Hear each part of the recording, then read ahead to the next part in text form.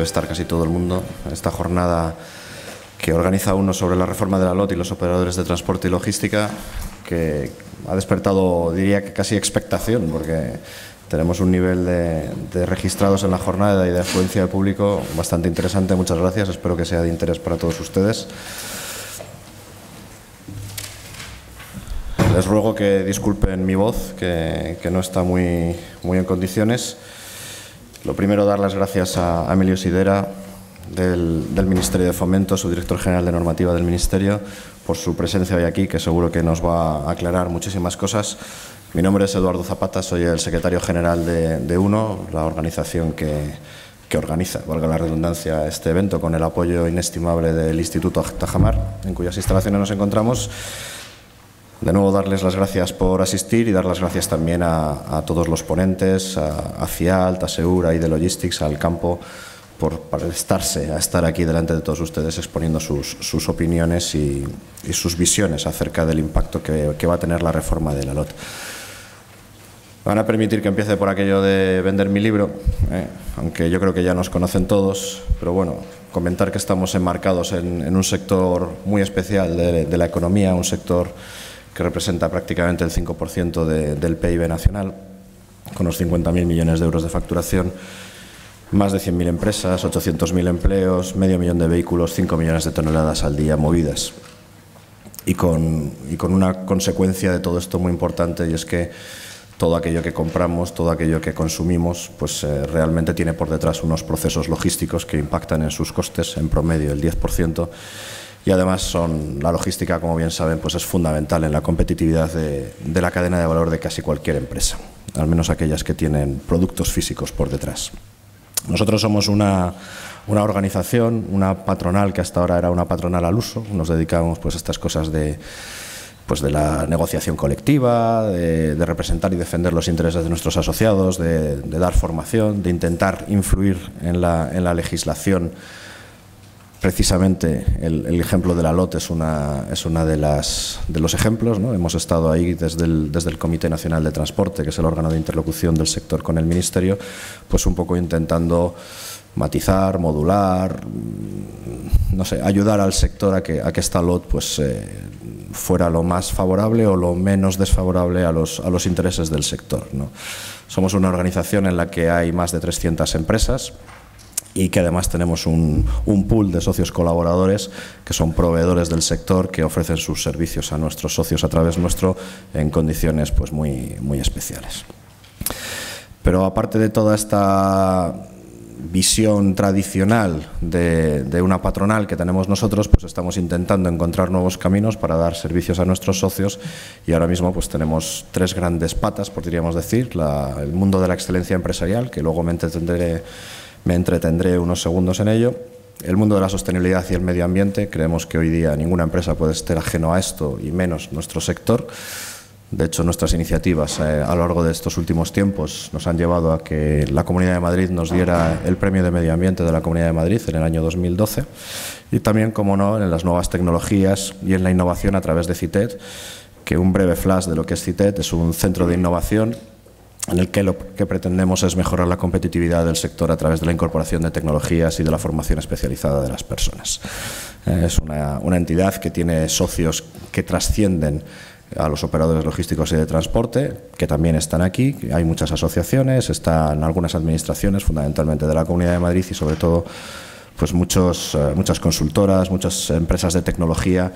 que quieren aportar su granito de arena al, al sector. Bueno, la reforma de la LOT, un breve flash de, introducción,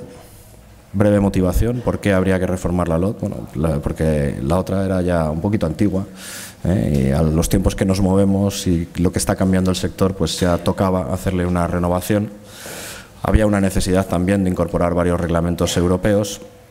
y también unos, unos cambios en el, en el régimen sancionador. Todo esto casi era el contexto que nos llevaba a plantearnos una reforma de la LOT. Desde nuestro punto de vista, tres aspectos básicos, no son los únicos y luego van a salir otros, pero bueno, yo he querido destacar estos tres. El, tema de las autorizaciones de ligeros,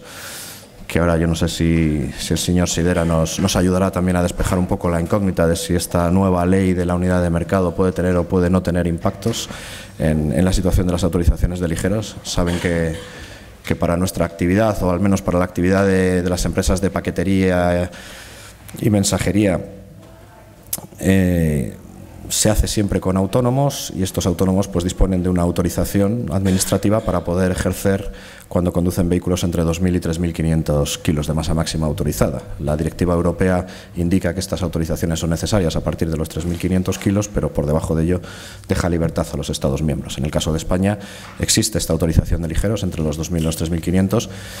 y nos viene bien porque es lo que permite no laboralizar la relación con, con estos autónomos. ¿eh? Y es un poco lo que, lo que es la base del negocio de la paquetería. Yo no digo ni que sea lo mejor ni que sea lo peor, pero desde luego es lo que hay y de lo que hasta ahora mismo, en la situación en la que hasta ahora, hasta ahora mismo nos hemos movido. El cambio de, las juntas arbitrales siempre se ha defendido desde esta asociación la efectividad de las juntas arbitrales a la hora de resolver conflictos y era necesario incrementar el importe de las cuantías que podían ser eh, tratadas dentro de estas juntas arbitrales, que hasta, hasta ahora era el límite de 6.000 euros, bueno, se ha multiplicado por dos y ahora pues hay muchos más eh, asuntos de, de, conflicto, entre comillas, que podemos resolver dentro de las juntas arbitrales que siempre son más ágiles que los tribunales ordinarios. Y por último, quizás el, el aspecto más llamativo de la LOT es el, el de la acción directa. Eh, de la acción directa que se ha introducido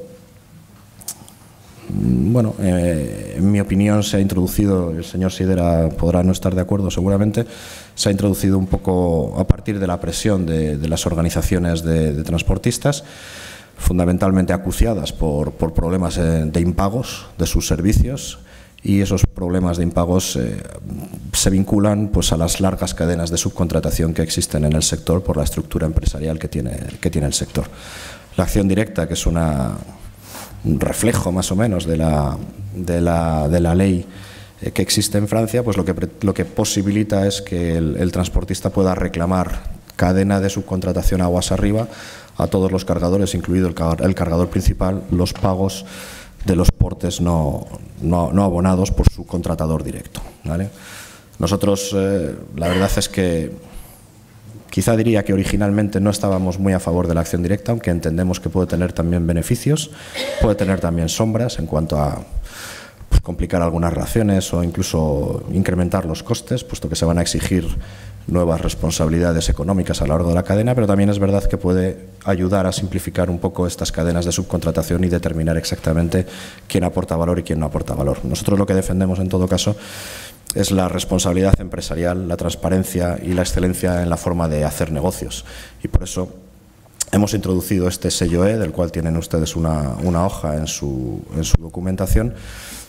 El sello E es un sello de excelencia empresarial en logística y transporte, un sello que lo que pretende es hacer evolucionar pues, el viejo código de buenas prácticas que había en lógica, para aquellos de ustedes que lo conozcan, y que ya pues, establecía una serie de compromisos por parte de los operadores logísticos con la transparencia en el sector y certificaba este compromiso.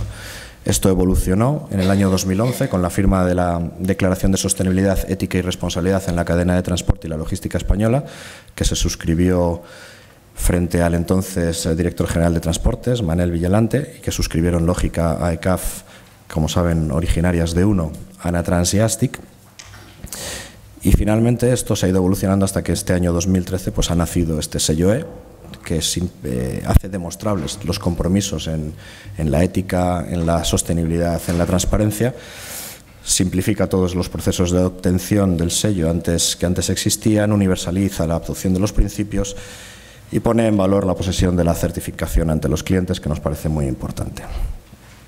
Al final el sello como decimos, es una certificación que lo que hace es analizar tres grandes áreas, pues principios clave, es decir, el cumplimiento de la legislación y la normativa, la pertenencia al sector de logística y transporte y la transparencia,